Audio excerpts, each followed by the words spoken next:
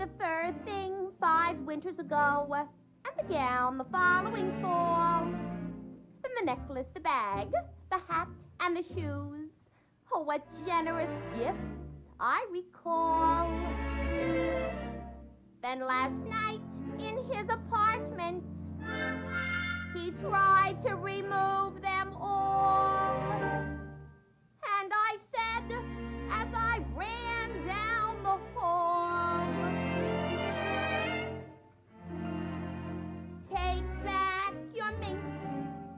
take back your pearls. What made you think that I was one of those girls?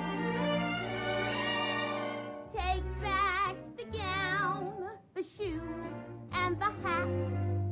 I may be down, but I'm not flat as all that. I thought that each expensive gift you'd arrange was a token of your esteem. When I think of what you want in exchange, it all seems a horrible dream.